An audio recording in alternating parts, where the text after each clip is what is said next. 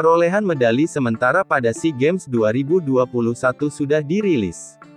Indonesia pun kini masih mengisi posisi keempat, satu tingkat di atas Malaysia. Perhelatan SEA Games 2021 masih terus berlanjut. Kontingen dari berbagai negara pun masih terus menambah pundi-pundi medalinya, tak terkecuali Indonesia.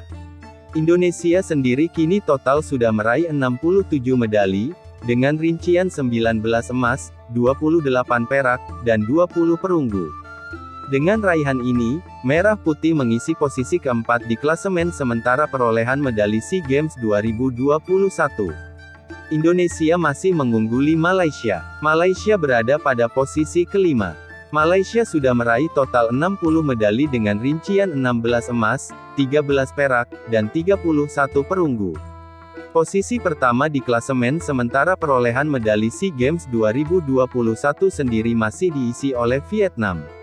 Tuan rumah sudah meraih total 157 medali dengan rincian 68 emas, 46 perak, dan 43 perunggu.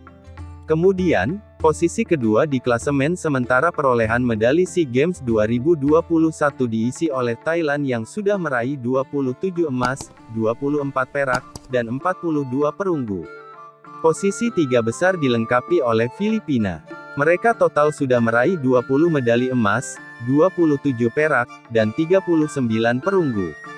Pundi-pundi medali Indonesia sendiri berpeluang terus bertambah pada hari ini karena sejumlah wakil cabang olahraga akan berlaga. Bahkan, ada potensi Indonesia meraih medali emas tambahan dari sejumlah cabang olahraga, seperti senam, catur, hingga pencak silat. Di cabang olahraga senam sendiri, pesenam andalan Indonesia, Rifda Irvana Lutfi kembali akan mentas setelah berhasil menyumbangkan emas beberapa hari lalu. Dia akan berlaga di dua nomor pertandingan, yakni Women Balance Beam dan Women Floor Exercise. Demikian informasi terkait perolehan sementara medali pada SEA Games 2021.